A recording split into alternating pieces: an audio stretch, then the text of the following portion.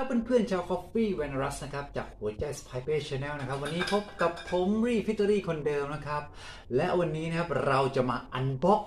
เครื่องชงกาแฟ Espresso Machine Maker นะครับ ซึ่งถือได้ว่าเป็นเครื่องหนึ่งที่ไว้สำหรับ Home User เลย นั่นก็คือ d u c h e s CM4200B นั่นเองนะครับเพื่อนๆก่อนอื่นเลยนะครับฝากเพื่อนๆกดติดตามหัวใจ Spy Page Channel ด้วยนะครับ เอาละเรามาเริ่มกันเลย ก็ก่อนอื่นเลยเราก็ต้องแกะก่อนนะครับกรีดไปดีๆนะฮะ ระวังว่ามีดจะไปโดน แต่จริงๆดูเครื่องมันอยู่ลึกแหละ มันคงไม่โดนง่ายๆหรอก นี่หน้าตากล่องข้างในมันเป็นอย่างนี้นะครับ ตอนนี้นะครับเพื่อนๆเราได้แกะตัว CM4200B นะครับดัชเชสมาเรียบร้อยแล้วนะครับ อ่าเดี๋ยวเรามาดูกันนะครับว่า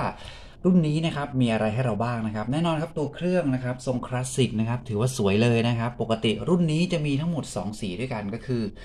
สีดำกับสีขาวนะครับ แล้วก็ตัวก้านชงนะครับอ่าเดี๋ยวผมแกะเลยล้วกันให้เพื่อนๆดูก้านชงก็คืออันนี้นะครับ ในส่วนของก้านชงนะครับอ่าก็จะเป็นก้านชงขนาด 51 mm นะครับอ่าแล้วก็จะมีบักเก็ตสำหรับอ่าสองช็อตนะครับตัวนี้ แล้วก็อีกอันหนึ่งจะเป็นหนึ่งช็อต อ่าหนึ่งช็อตอันนี้ นี่หน้าตาอย่างนี้นะครับ แล้วก็มีช้อนนะครับ ไว้สำหรับตักตัวผงกาแฟแล้วก็ไว้ tamp ได้ด้วยนะครับ แต่ว่าเราควรมี tamper ของเราเองต่างหากดีกว่านะครับ อีกส่วนหนึ่งนะครับก็คือจะเป็นตัวคู่มือการใช้งานนะครับ ก็เพื่อนๆลองไปอ่านดูได้ ภาษาไทยอ่านง่าย จริงๆ เครื่องนี้ใช้ง่ายมากๆเลยนะครับ ก็ ลองไปศึกษาดูใช้ง่ายนะฮะเพราะว่ามันเป็นเหมือนกับเป็นโฮมยูเซอร์เราใช้กันในบ้านนะครับรุ่นนี้เนี่ยฮะเราจะต้องใส่น้ำข้างหลังนี่หน้าตาเป็นนี้นะครับ นี่เทใส่เข้าไปเลยให้เต็มนะครับ มีขีดแม็กอยู่ด้วยนี่จะมีขีดแม็กอยู่ด้วยนะครับ เราก็ใส่น้ำเปล่านะครับ ไว้ข้างหลังเลย แล้วก็กดเปิดเครื่องนะครับเราใส่น้ำเรียบร้อยแล้วนะครับ เดี๋ยวเราก็จะมาทำการเปิดเครื่องกันนี่ช่วงนี้เราก็รอไฟ ไฟมันติดก็จะเป็นแป๊บแป๊บแป๊บแป๊บแบบนี้หมายความว่าามันกำลังวอร์มเครื่องอยู่นะครับ เราต้องรอสักครู่หนึ่งนะครับถ้าเราใส่กาแฟนะครับไปในบักเก็ตนะครับ ประมาณ 15 กรัมถึง 16 กรัมสำหรับ 2 2ช็อตนะครับ เดี๋ยวเราจะลองสกัดช็อตดูว่าเป็นยังไงนะครับเพื่อนๆผมจะบอกเพื่อนๆอย่างนี้นะครับว่าทุกครั้งที่เราจะมีการสกัดช็อตต้องกดรินน้ำก่อนนะครับอ่า เป็นการล้างล้างหัวสกัดนะครับ โอเค เดี๋ยวเราจะเอาบักเก็ตใส่แล้วสกัดช็อตกัน เรามาเริ่มสกัดช็อตกันเลยนะครับ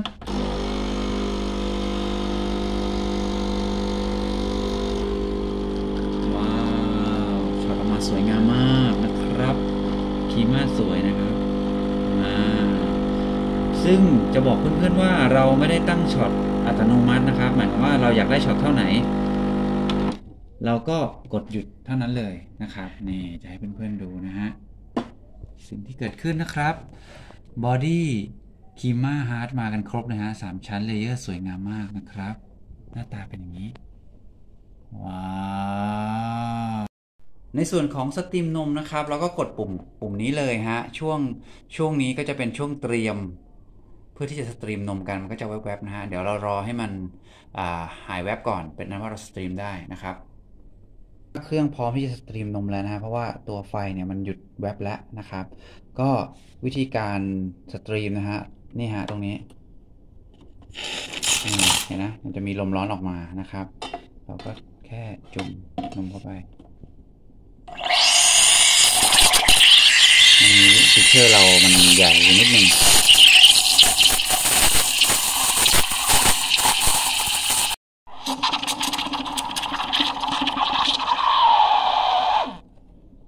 ตอนนี้นะครับ ก็ steam นมเสร็จเรียบร้อยแล้ว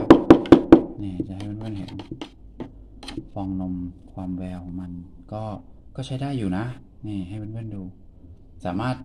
อ่าถ้าเรา steam นิดนิดหน่อยก็จะกลายเป็นลาเต้ฮะแต่ steam เยอะก็ไปใช้เป็นฟองคาปูชิโน่ได้ด้วยนะครับ อันนี้ทุกครั้งที่เราใช้นะครับเราก็เดี๋ยวขออนุญาตนี้ออกไปก่อน ต้องทำความสะอาดตัวหัว steam ด้วยนะครับ เช็ด